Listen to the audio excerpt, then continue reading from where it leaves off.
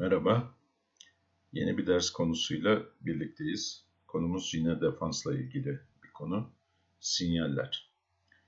Şimdi sinyallerle ilgili en yaygın kullanılan sinyallerden bahsetmek istiyorum. Ve e, en standart haliyle detayını göstereceğim. Şimdi üç tip e, sinyalimiz var. İlk sinyal apel yani tutum.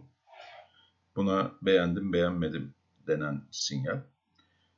Ortak bir renk atak eder. Ortağın rengi devam etmek istem etmesini istemek ya da istememek anlamında kullanılan bir sinyal. Bunun detaylarını göreceğiz. Farklı uygulamaları var. Ee, ben bunu kendimin ne oynadığıyla ilgili olanı göstereceğim. Sayı sinyali ise oynanan renkte kaç adet kartınız tek ya da çift sayı şeklinde bildiren sinyal. Üçüncü olarak da renk tercihi, preferans sinyali. Yani ortağın belli bir rengi oynamasını istiyorsunuzdur. Şu renge gir şeklinde. Bunun için e, kullanılan sinyal. Şimdi bunların biraz detayına bakalım. Bu dersi 3 bölüm halinde çekmeyi düşündüm. Ee, ilk bölümde teorik bilgi kısmına bakacağız. Sonraki diğer iki bölümde ise örnekler üzerine burada anlattıklarımı uygulayacağız. İlk olarak apel sinyali. Şimdi standart apel büyük olumlu, küçük olumsuz anlamdadır. Bunun tersini kullananlar da var. Ee, yerine göre avantajlı, yerine göre dezavantajlı. Özellikle son örnekte e, yapmayı düşündüğüm bir e, board var. Orada e, gerçekten standart olmayan yani e, küçüğü olumlu, büyüğü olumsuz tarzı e, kullanan oyuncular için ciddi bir handikap olan bir board olacak. Şimdi e, apel ne zaman verilir? Apel bir kere ortak atak ettiği zaman beğendim beğenmedim.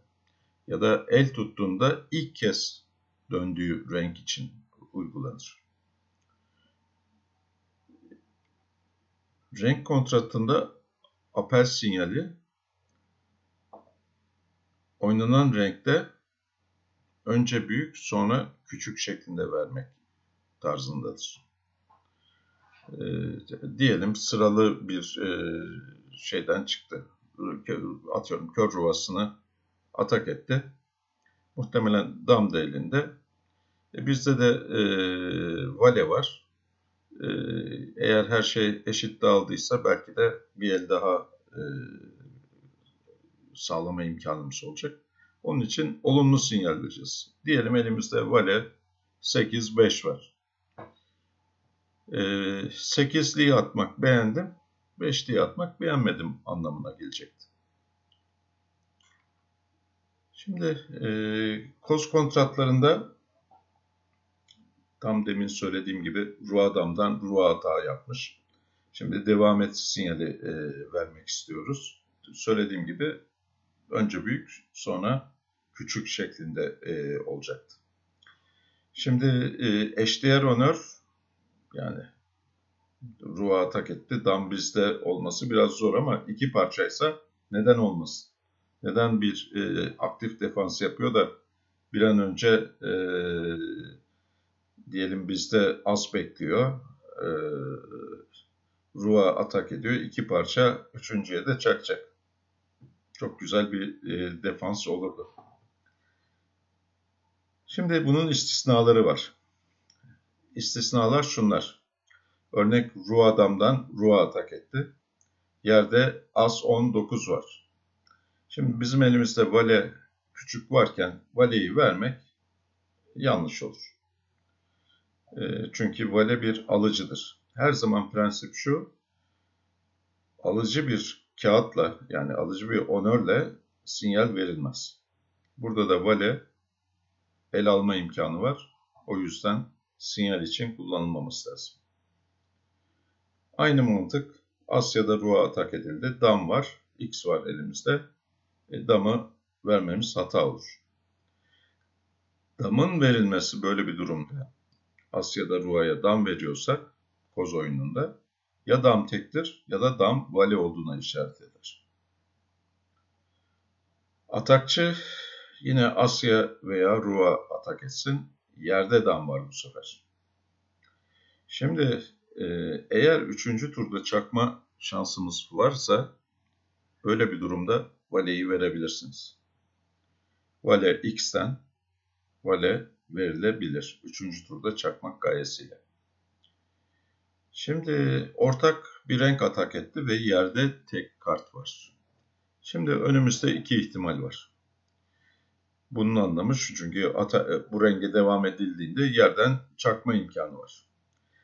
Eğer yerdeki kozlar büyükse ve e, bizim elimizde koz promosyonu alma ihtimali varsa yani yerden kozla çakılırsa elimizdeki kozun e, alıcı hale gelme ihtimali varsa devam et sinyali verilebilir.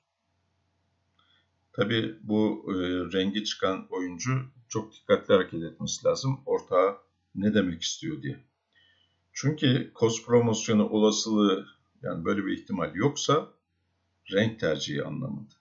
Yerde tek kağıt varken eğer bir koz promosyonu ihtimali yok ise bunu renk tercihi olarak anlamak lazım.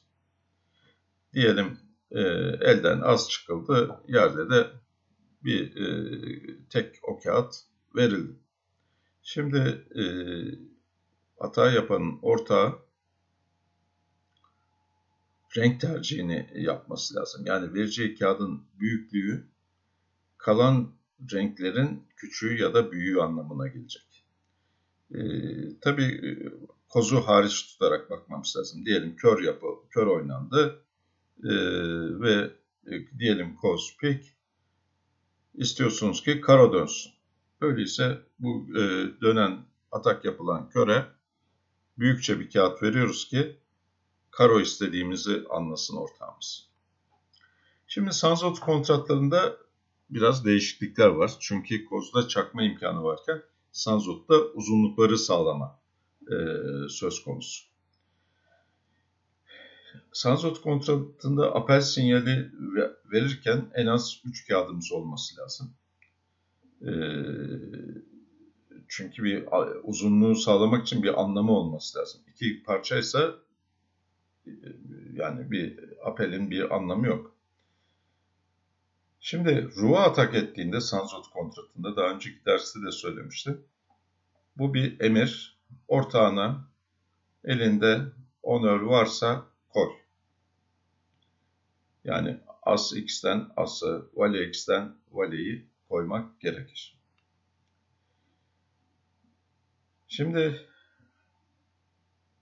apel sinyali vermek için eğer bir onör kart oynadı isek bu bize altında bitişik bir onör olduğunu söyler.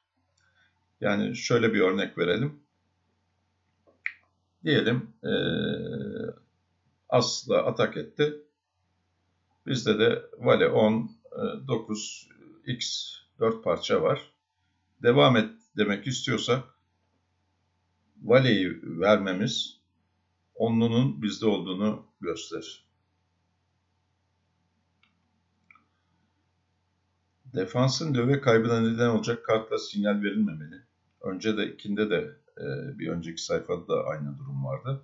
Yani alıcı bir kağıt ile e, sinyal verilmez. Yine kısalmaması gereken bir e, rengin kartıyla sinyal verilmemeli.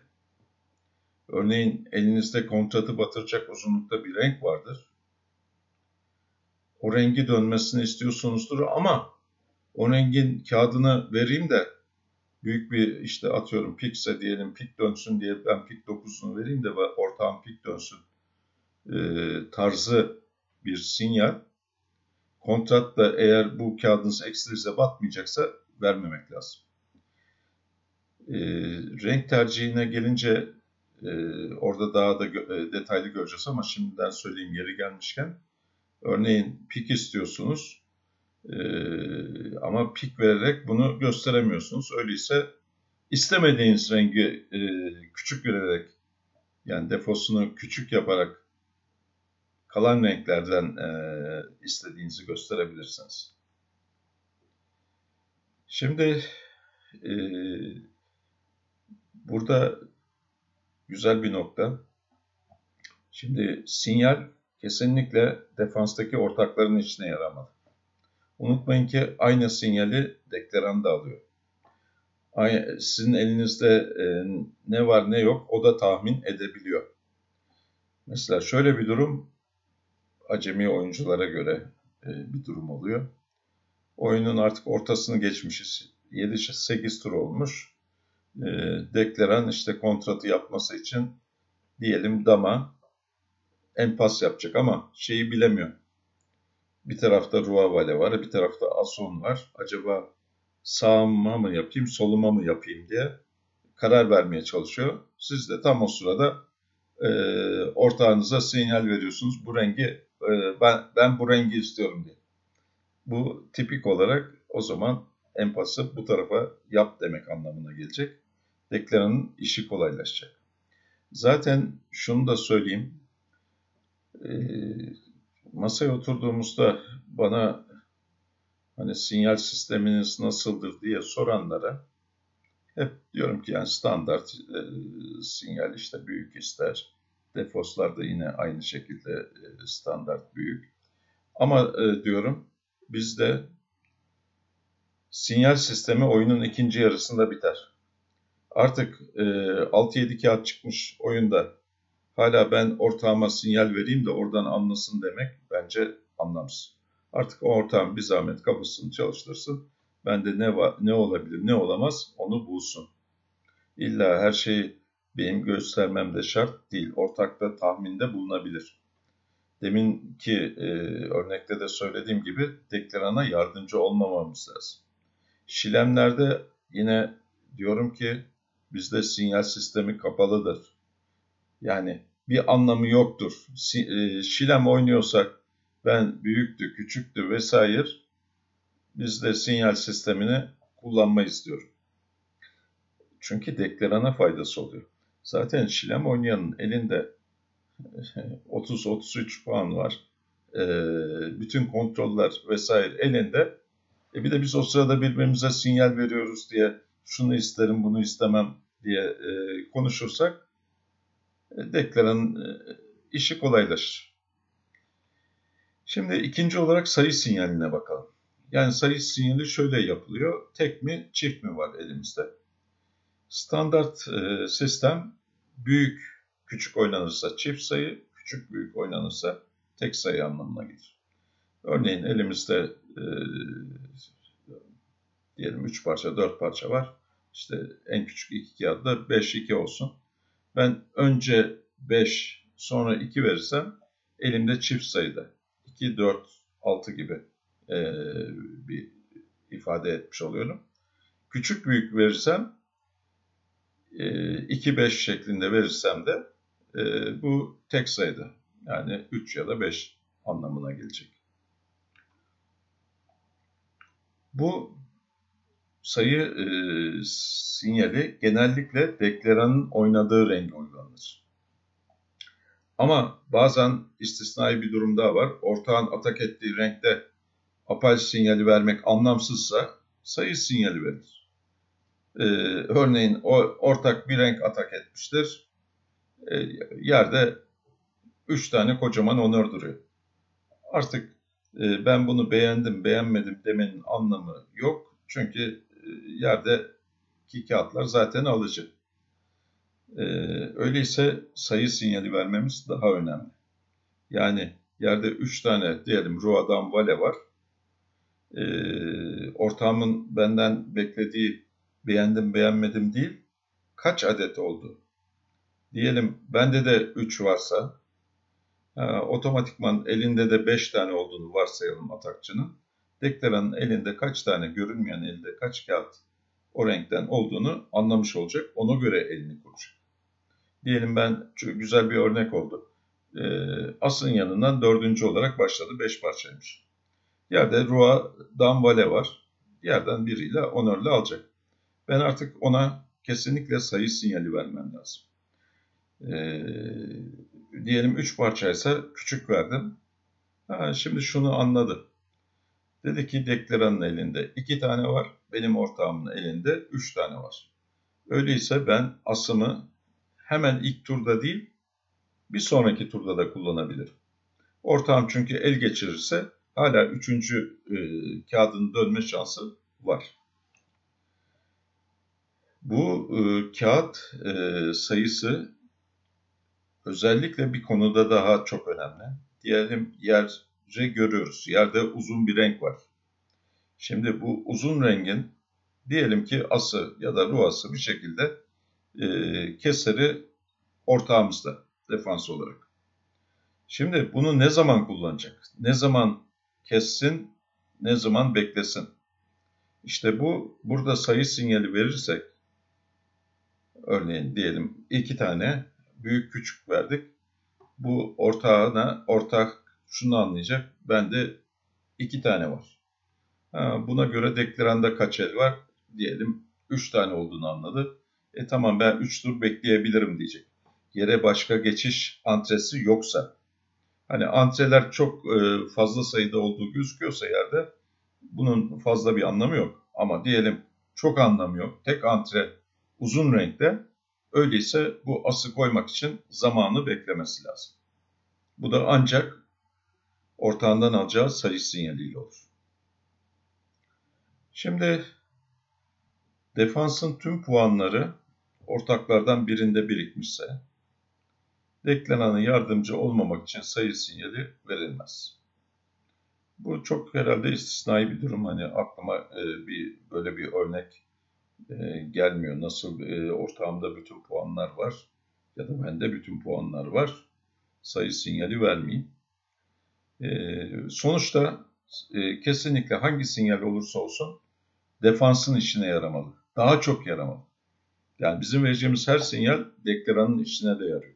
Ama e, faydası bize daha çok olması lazım. Eğer faydası az, zararı çoksa o sinyalden uzak durmakta fayda var. Bu da o tip bir sinyal. Faydadan çok zararı olan sinyalmiş. Son olarak yani te, e, sinyallerle ilgili son olarak renk tercihi, preferans. Şimdi yine standart olanı e, büyük üst rengi, küçük alt rengi ister. Örneğin Cospik kara oynanıyor ve ben e, renk tercihi yapma şansım var. E şimdi geri hangi kağıtlar kaldı? E, tref ve e, kör kaldı. Büyükçe bir kağıt verirsem kör, küçükçe bir kağıt verirsem tref olduğuna işaret eder. Şimdi bütün bu örnekleri yaparken ben hep e, burada standart diye anlattığım tarzdaki sinyalleri kullanacağız. Farklı sinyal sistemleri de var. E, ama hepsini bir anda e, yapmak doğru değil. Önce bir kere bunlardan kesinlikle e, ne anlama geliyor bilelim. Zaten bunlar çoğunlukla kullanılan sinyal metotları olduğu için en azından biz kullanmıyorsak bile rakipler kullanıyor olabilir. Onun ne anlama geldiğini bilmemiz lazım ki e, elimizi ona göre oynayalım. Şimdi son olarak da nasıl e, renk tercihi nerelerde kullanabiliriz? Şimdi bir tanesi ortağa çaka verirken kullanabiliriz. E, diyelim ortağımız rengi çakacak. İşte tam fırsatı biliyoruz, biliyoruz onun çakacağını. Daha ben kağıdı atarken büyük kağıt atıyorsam, büyük kağıdı atıp da büyük cene bir kağıt diyelim atıyorsan çaktırmak için bunun anlamı kalan renklerden alınca çakınca büyüğünü. Küçük bir kağıtla çaka veriyorsan küçüğünü dön anlamında. Yani daha ben ortağıma çakaya giderken onun eli aldığında ne dönmesi istediği gerektiğini söylemiş oluyorum. Benzer tarzda defos yaparken yani renk tercihini defos yaparken de kullanabiliriz. Genelde büyükçene bir kağıt e, o rengi istediğimizi gösterir. Küçük tam tersine istemez. Şimdi sıralı tepe onörleri vardır. Ee, bunları artık bellidir. Ortağımız da tahmin ediyordur bu onörlerin e, bizde olduğunu. Bunların oynama sırasına göre büyükse e, hiyerarşik olarak renklerin büyüğü, küçükse küçüğü tarzı e, renk tercihi sinyali yapabiliriz. Rakip bir rengi ikinci kez oynadığında ilkini sayı sinyali olarak kullandık. E, renk tercihi yapabiliriz. E, yerde tek kağıt var, ortak az çekti. Ya da yerde şigan çak çak. Bizim vereceğimiz e, sinyal artık e, renk tercihi olmadı. Yani e, yerde tek kağıt varken orta ben bu o rengi beğendim beğenmedim ya da sayıdan çok faydalı olacak bilgi bir sonraki kağıdını şu şöyle oyna. Yani şu rengi oyna. Tabi bunlar hiçbir zaman emir değil. Onu da unutmayalım. Yani sinyal bir tercihtir. Yani ortağına işte ben şu rengi tercih ediyorum. Adı da üstünde renk tercih. Renk emri demiyor. İlla sen mecbursun bunu oynayacaksın. Ama ortağın daha iyi bir kağıdı yoksa bunu bu bilgiden faydalanır. Diğer e, bir tanesi de yer renkte kapalıdır. Yani o renkten bir el alamayacağımız kesindir. Öyleyse vereceğimiz kağıt renk tercihi sinyali anlamında kullanmamız lazım. İki taraf da bunu böyle anlaması lazım. Üçüncü oyuncu deklarasyon sırasında ortağına da destek vermişken olabilir. Ve dektiren elden oynayıp yere çaktırırken de yine renk tercihi sinyalinden istifade edebiliriz. Yani neredeyse aslında defansın oynadığı her kağıdın bir anlamı var, bir anlam yüklüyoruz. Bunu yapabiliyorsak, eğer her iki defans oyuncusu da birbirini anlayabiliyorsa bu şekilde fevkalade iyi defans yapmak mümkün olur. Şimdi bu prensipleri gördükten sonra bundan sonra örneklere bakacağız.